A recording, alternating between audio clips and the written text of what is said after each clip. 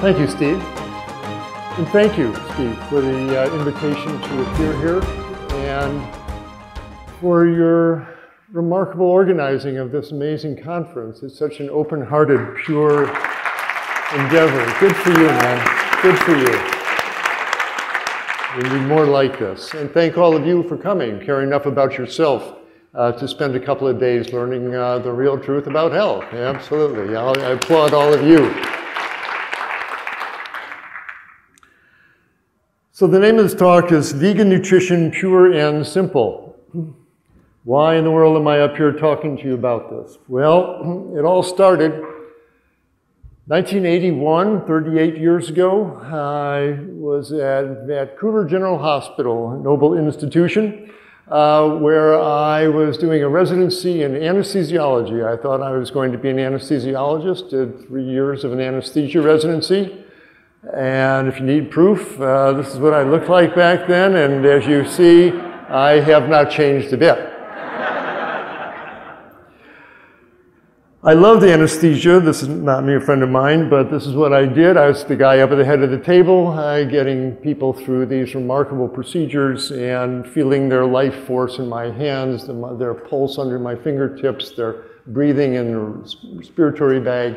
And anesthesia is a beautiful and noble craft. But it put me in the operating room, and day after day, I watched what surgeons did. And in the cardiovascular anesthesia room, I watched surgeons operate on hearts and blood vessels. And day after day, I would watch surgeons open up arteries, and from the artery walls, they would peel off this yellow, greasy gut called atherosclerosis. Here we are in the carotid arteries going up to the brain, and uh, if these arteries get clogged, people suffer strokes. Uh, here's the mechanism. Any possible to get the overhead lights down, or maybe I have to keep them up for the video, but it'd be nice. Uh, here you see a plaque, oops, sorry, here you see a plaque growing out of the, uh, the side of the wall. The danger is that the plaque can tear open, uh, exposing the cholesterol underneath to the blood flow channel and uh, this can set off formation of a clot, and the clot will stop the blood flow moving downstream. And whatever tissue is downstream, dependent upon this blood flow, winds up short of blood and often dies. If this phenomenon happens up in the brain, person suffers a stroke. If it happens in the heart, uh, the person loses a chunk of heart muscle, and that's a heart attack. This is a common disease, number one cause of death in this country. Every 33 seconds, someone grabs their chest in this country and falls over with a heart attack. Every other one of them dies. If you do the mathematics uh, over a 24 hour period, every 33 seconds, that's over 2,000 people. That's a 9 11 disaster. Every 24 hours, 2,000 people go down uh, with cardiovascular deaths. Well, in the 1980s, it was becoming obvious what the cause of all this was, not just bad genes, uh, and cigarette smoking had something to do with it, but it became very evident that when you eat a standard Western diet and you fill your belly up with bacon and eggs for breakfast and cheeseburgers for lunch and chicken for dinner and ice cream for dessert and pizzas for snack, uh, hour after hour, you're uh, turning your blood thick with fat and during this time, the fat injures the artery walls, uh, setting you up for atherosclerotic plaque formation. It layers out on your abdomen, making you obese. It changes hormone levels, setting you up for prostate cancer, breast cancer. Not a good thing to uh, keep your blood fatty all day. It's the main cause uh, of this artery clogging. Also, in 1981, as I'm looking into the operating uh, room spectacle in these people's chests and arteries, uh, it's also becoming evident that if this fatty animal-based diet clogs people's uh, arteries up, uh, then a diet based on completely plant foods uh, leaves your blood nice and clear. And keeping your blood clear and clean like this day after day after day melts away these plaques. Uh, it's quite a remarkable finding, but we had clues even back in 1977. Dr. Frey Ellis uh, published this uh, report uh, that described a 65 year old man with such severe clogged arteries that uh, he would get crushing chest pain every 10 steps. Uh, in January of 1964, he went on a plant based diet. his, his artery started opening up, and six months later, in, um, he was walking the, uh, uh, the hills in uh, the UK, and by August, he was climbing mountains in the Lake District. This is a reversible disease, and everyone has the ability to open up their arteries with a healthy diet. Well, This, of course, progressed to Dr. Esselstyn's classic studies where you get these dramatic pictures of an artery so clogged up that it looked like the rats have been eating away at the, the dye channel here. This, these are all um, plaques that are encroaching into the blood flow channel, giving the scallop uh, appearance. They should all look like this nice broad band up here. This should look like.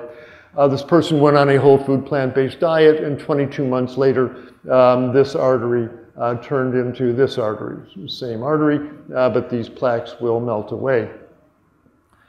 Every cardiologist who sees these pictures should say, stop the presses. How did you do this? Tell me the secret, doctor. But I've been amazed at their lack of response to this remarkable set of photos.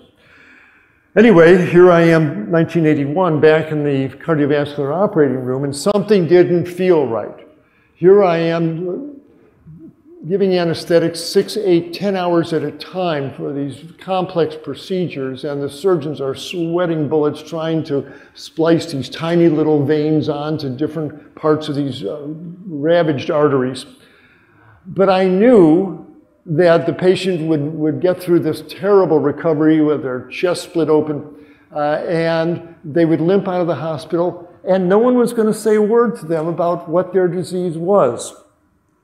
And the truth is, and I knew, and I knew every surgeon who was operating knows, that even though these guys were working really hard to bypass uh, clogging of the coronary artery down in their heart somewhere, atherosclerosis is a total body disease. If you've got it in your coronary arteries, all your arteries have plaque. And you've got plaque up in the carotid arteries to your neck, you've got it in the renal arteries to your kidneys, you've got it in the iliac arteries down to your legs. It's a total body disease. And just pecking away and rearranging the plumbing up in the heart really is not curing this person's disease in the slightest. It may save him from a sudden death due to a heart attack, but it won't save him from the stroke, won't save him from the renal failure, won't save him from the blue leg if the person continues eating those cheeseburgers and pepperoni pizzas and heaven forbid their cardiologist or surgeon uh, should talk to them about what they're eating. Well, 1981, my dad was already showing signs of clogged arteries. He was already having chest pains, already having a blue leg. I clearly had the genes for this disease, and I knew very well that if I kept eating what these patients were eating, soon that body laying on that table with that Stryker saw going up the sternum was going to be me. And I saw these folks when they woke up. I, that really hurt. I didn't want that fate at all. So I'm getting clues from the operating room that Klaper ought to clean up your diet. You ought to migrate to uh, Dr. Ellis's plant-based diet from that fellow in England. So I was getting the message from the operating room. But I was also receiving a similar message from a totally different quarter. As you heard, I went to medical school at the University of Illinois in Chicago. And during my fourth year, I did most of my rotations at big, bad old Cook County Hospital across the street.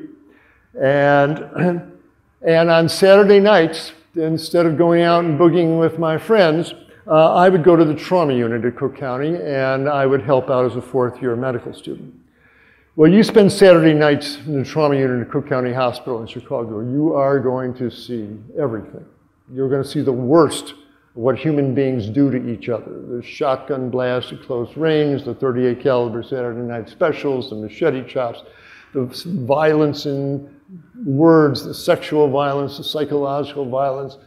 Come Sunday morning after a night shift, I would walk out of that trauma unit shaking at what I had seen. It would take me all day just to stop vibrating on the inside.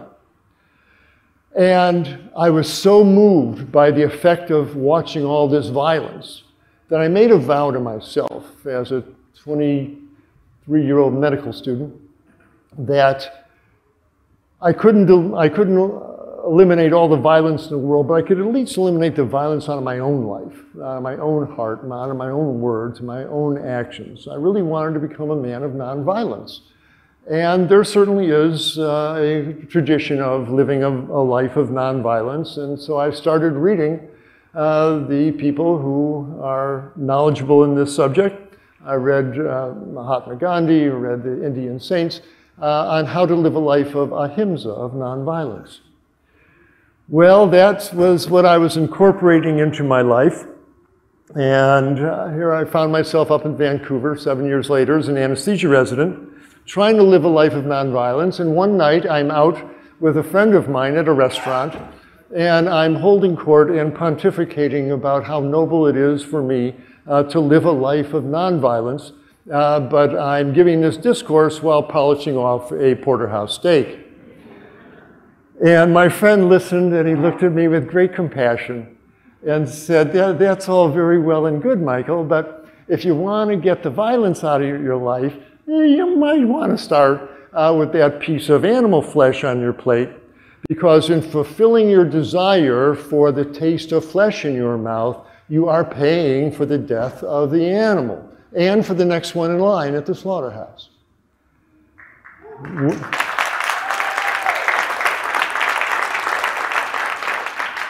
Well, when I heard those words, all the old rationales jumped into my head. Well, the animal's dead already, and that's what they raised them for. And all the, the rationales that we're all familiar with came to my head.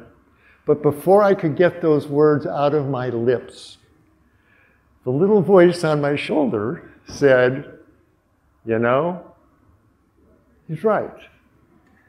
He's right. And when I went up to pay for the steak dinner, I felt complicit in a crime.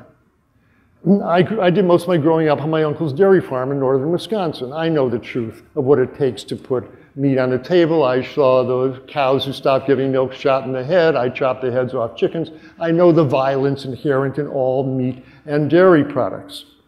And at that point, something began really changing in my heart. If I'm going to be a man of integrity and compassion, do I walk my talk? And from that point on, whenever I got the, I'd walk past a barbecue and smell something, uh, or I would uh, see a chocolate sundae and get a little tempted, the little voice would come to my mind because I knew the truth of keep that milk flowing. You got to take those calves away from the mothers and, uh, and, you, and kill the mother and turn her into hamburgers. The truth of dairying, it's a violent, violent food. Uh, all animal flesh foods are violent. And I had to ask myself, Michael, are you really that hungry that you would pay for this suffering, for the death of the animal?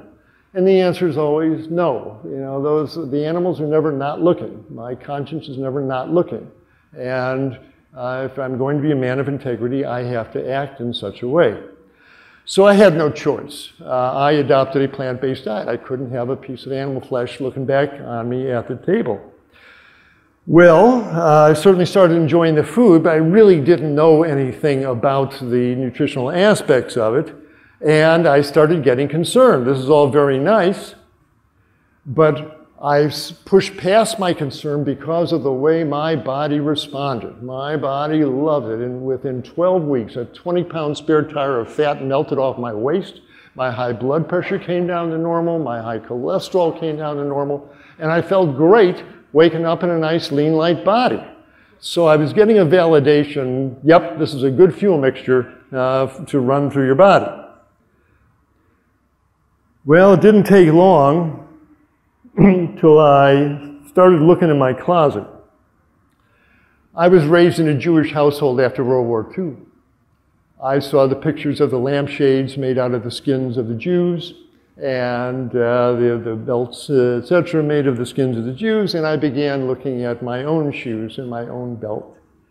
And knowing where they came from, it started feeling ghoulish uh, to put these on my waist and on my feet. So uh, there were, I knew very well that, um, that there were substitutions to be had. My Nikes were not made of leather.